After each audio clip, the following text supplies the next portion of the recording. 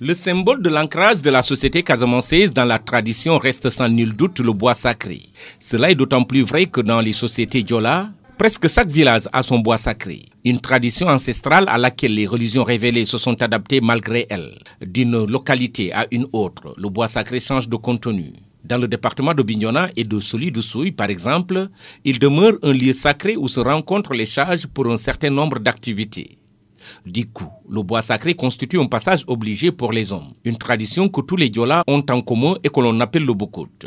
Cet événement constitue l'un des plus importants dans la société traditionnelle Diola, car il est le point de démarcation entre l'homme et la femme le jeune et l'adulte, l'ignorance et la sagesse, l'innocence et la responsabilité. La crise sanitaire liée au coronavirus a perturbé le calendrier culturel dans ce département où une bonne partie garde encore cette tradition ancestrale. C'est le cas pour le village de Balingor qui a engagé le processus depuis deux ans.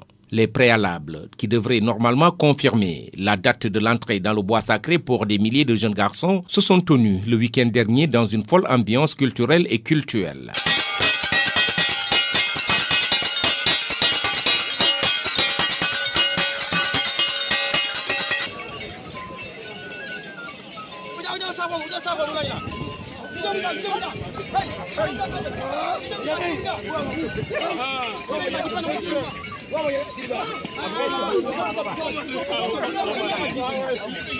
Cette cérémonie qui a regroupé des milliers et des milliers de personnes dans cette localité de la zone dite le Blouf le samedi 5 juin dernier a été un moment fort de célébration de cette belle culture djola. Elle a été rythmée, cette cérémonie dénommée Egolobei, euh, par des chants qui évoquent la bravoure, l'honneur, la sagesse, la responsabilité, entre autres vertus.